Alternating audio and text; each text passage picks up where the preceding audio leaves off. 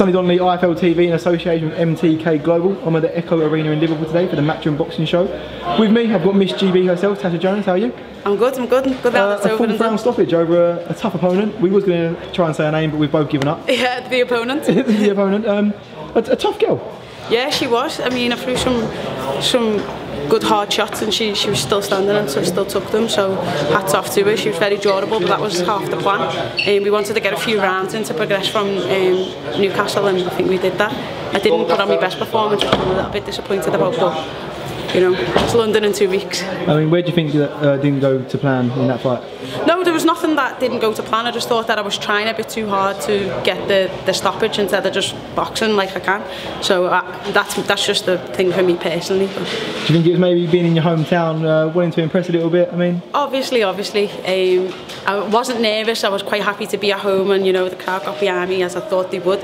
Um, but you know, yeah, it's just one of them things. You know, everyone just tries to play up to the well, crowd. speaking of the crowd, I remember when your whole family come to the press conference when you announced it was professional. They could probably fill out the Echo by themselves, and there'd still be some standing outside. oh, aye, probably.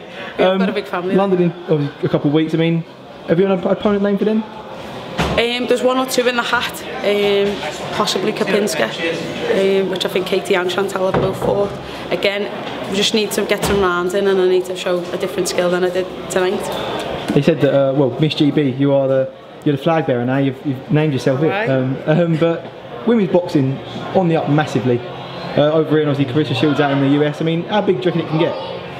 You know, well, I'd love to say it'd be on the same par, on par with the men's, but you know we're a long way away from that. But we're progressing forward, and that's what that's all that matters. Um, a little bit slower than I'd like, but you know it's just one of them things. It's just the way it is at the minute. But we are moving forward, which is always positive.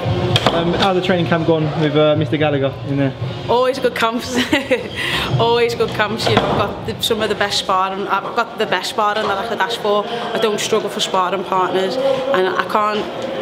I can't ask for the, the depth and wealth of experience that they've got between them. And you know, when certain situations arise or certain things happen in sparring, like they're always there to give me advice, and I think that's And most importantly, I mean, I know you've been back for uh, well, how many? How long is it now? About Ten months now. You've been back in the ring. since uh, April. April, yeah, quite a long time. I mean, are you happy to be back?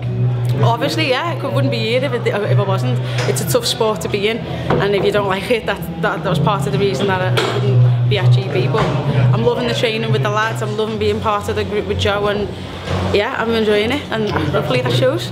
Right then, well listen, no boozing tonight because you're out in two weeks, so uh, behave yourself, go home early night, and I'll Always, catch up soon. But until then, Natasha, thank you for the IFL TV. Thank you. Cheers.